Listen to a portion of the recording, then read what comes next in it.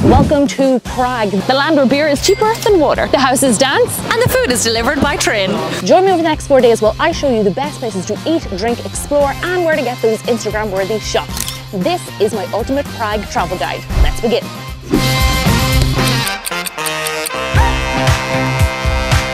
So first things first, where should you stay in Prague? I would recommend staying in the old town so that you get like a real authentic feel for the city and you're also really close to walking distance of all the main attractions. However, since there is six of us on this trip, we decided to spring for a penthouse in the new town. So let me give you guys a very quick tour of this place. We have four bedrooms, three en suites, two other bathrooms, two lounges, two kitchens. So what more do you want? There's plenty of room for the six of us. I'm gonna pop a link for this place down in the description and I will put the price right here on screen.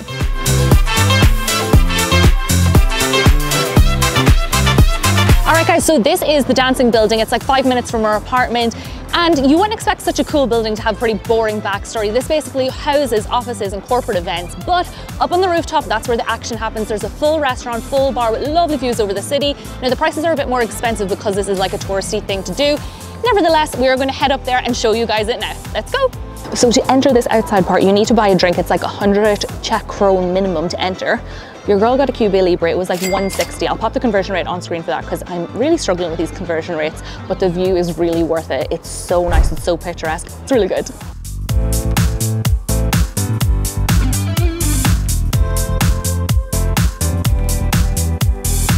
Okay guys, so the next spot that I'm going to recommend you visit while in Prague is a very unique robot bar. In here you'll find 12 different tablets you can order by yourself. It's an introvert's dream. They make your cocktails. There's like 100 spirits hanging from the ceiling. Robots make it in less than 90 seconds. So you get in, you get out. We're going to give it a go.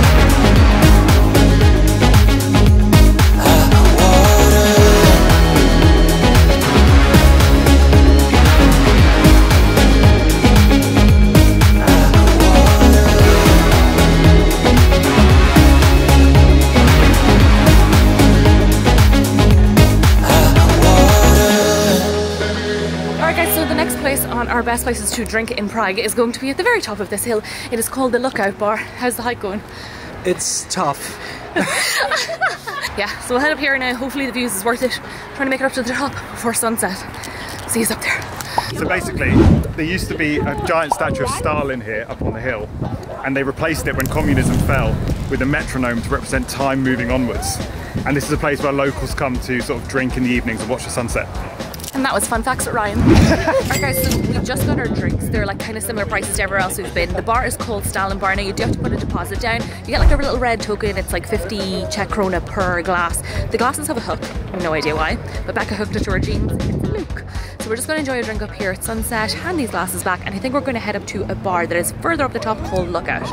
We'll take you there next. All right, guys, so we are now here at Lookout Bar. It's a gorgeous, like, up in the hill spot in the park. It overlooks the entire city, so I would definitely recommend getting here for sunset. But just be warned, it is cash only, but there is ATMs up here. However, I have heard that they're kind of like a higher rate, so maybe get your cash downstairs. It's very popular between tourists and locals alike, so cheers. All right, guys, so we found like the perfect sundowner spot. It's in a park here. I'm going to get Johan, our friend here from Prague, to tell you a little bit about it. If you've ever been to London, it's the equivalent of standing up the top of Greenwich Park or Primrose Hill, and you can even bring your own drinks if you want to save yourself some little bucks. But if you don't want to do that, there is a cafe over there where you can go buy beers, refreshments, you can use the bathroom, and I would 10 out of 10 recommend to a friend. This park is called Riegrovy Sady and you can easily get here from Old Town by taking a metro.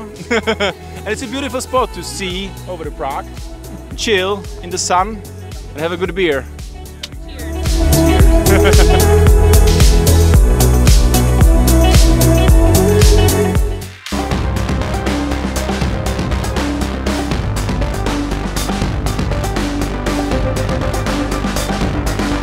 So they say that absinthe is the green fairy drink. However, this place calls it the green devil, and it definitely gives off that vibe. It's very like Tales of the Crypt, but it had rave reviews, so we thought we'd come and give it a go. There's over 100 types of absinthe, and they go up to 80%. And on top of that, they also have some sort of cocaine vodka. I'm probably gonna have to bleep out that word because of YouTube monetization. It's definitely worth come giving a go. You'll see our reaction shortly. Did somebody write my name on that? It says Lauren C. And there's six behind it. Six is my birth month. June baby. Hell, that's very good. Isn't it?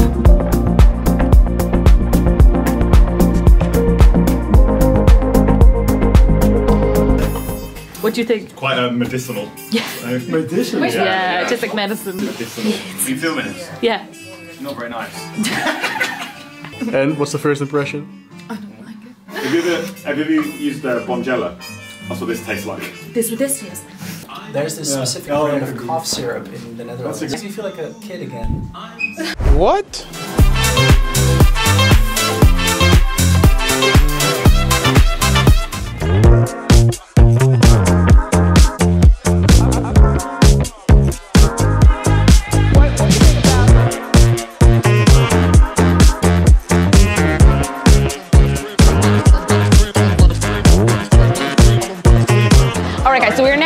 In the Railway Restaurant. It's just opposite Primark. It's on the outskirts of town. You can come for drinks just if you want. It doesn't matter what you order. Everything is brought by train directly to your table. And you put the glasses on, it takes it back. It's kind of like a cool way to do self-service. We're going to test it out now. I'll put the price of our drink down below. I got a rum cocktail with some lemon. I've yet to try it. Let me give it a taste. Wow, that's good. Right, so we got the beer flight, which is cutely called a beer train because it's basically just a whole long train. It's four beers, different flavors. This one right here is a lager, really nice light beer. This one here is something called an IPL. Never had it before. Quite. All of this, by the way, is 175 crowns. Lauren will put the conversion rate on screen. This here is an IPA, which I don't really like, so I'm not going to try it. And this here is a darker lager, which is really good. And none of them are Pilsners, which kind of surprises me because I think it's invented here. But still, great beers. All right, guys, so you've got a pulpy burger, some chips, some sort of like pepper mayo. Let's give it a shot. By the way, if you come here, like wear a t-shirt and shorts because it's like 100 degrees inside here. Literally hot as Hades. Cheers. It's nice. It's like a basic whole burger. It's not dried home but it is nice. You basically come for the novelty of the trains and the good cocktails. Let's tuck in and enjoy this. I'll take you to the next spot after. We are now down here at the Vltava River and just behind me there is a swing set where you can get gorgeous views over the riverbank and the buildings behind us and I would 10 out of 10 recommend this as a sick Instagram spot. It's not overly discovered on Instagram yet so get down here before you've got a queue for 20 minutes to get that shot. Alright guys, so we are now here at Powdergate Tower and this is another Instagram spot. It's not really widely known on Instagram just yet, so get here early and get here before everybody else finds out about it. Myself and Becca got some epic shots. I'll pop them on screen now for you so you can see what you can expect if you want to get your Instagram worthy shots here. Moving on. I guess I woke up on the right side of the bed. Got a new song singing inside my head. No cares in the world cause Guys, so the next stop on our Instagram worthy tour is, of course, the very obvious Charles Bridge. And if you do want any good shots, you got to get here bright and early, but it's very beautiful. I believe it's like one of the oldest medieval bridges in the world. You've got beautiful sights, but make sure you get up here for sunrise or sunset because otherwise the lighting's pretty harsh and it's quite busy. But if our photos are good, I will pop them on screen now. Go follow myself and Becca.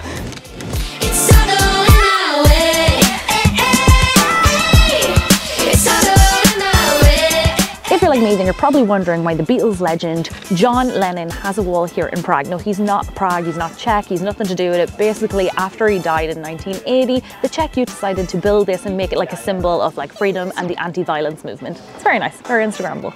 I would recommend coming here early to get your shots. As always, sunrise or sunset. And that's it.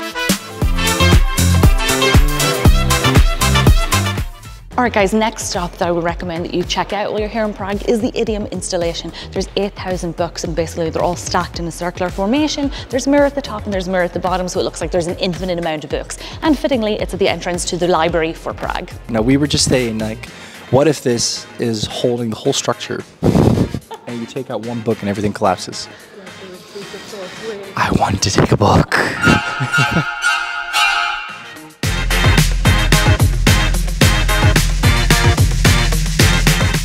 so not something you would expect to find hanging on a meat hook inside the entrance of a church. But basically, here is a mummified hand. It's an actual human hand attached to an arm, and the story goes like this. So a homeless man, way back when, came in here on a cold winter's night, took refuge in the church, and he saw a bejeweled statue. He thought he'd steal it. When he goes to reach for it, the statue comes to life and grabs his arm. Then basically the statue holds on until the parishioners come the next morning, they chop off his arm and they hang it up there as a warning to all thieves. And that's how the story goes. That's why there is a mummified, it's an actual human arm hanging in the entrance of this church. Something to see.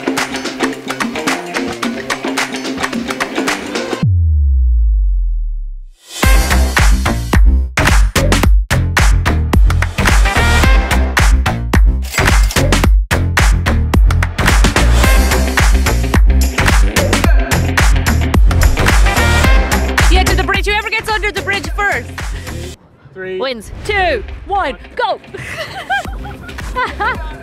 Keep going, Ryan. Keep going. You're gaining on us. Go, go. Dave, this is leg day. Do not give up. Oh, I'm so dead. I think we won, so it's all good. And that was the pedalos. All right, guys, so my final stop that I'm to recommend to you is Streleki Ostronov. And this is basically just like an island in between the Vltava River. And on it, there's these little like beaver creatures. I don't know if they're beavers exactly, but they look like part of the beaver family.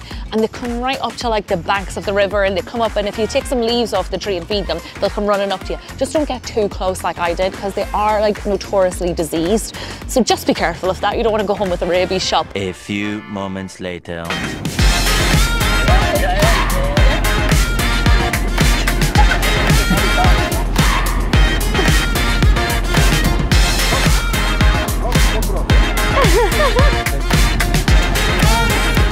Out of 10 would recommend to a friend. Definitely something cool and unique to do while you're here in Prague. And that is it, guys. That is my top things that you should do while you're here in Prague. We have discovered all the places that you should eat, drink, explore, see, and where you should get those Instagram worthy shots. Thank you so much for watching this video, and I hope to see you in the next one. Bye.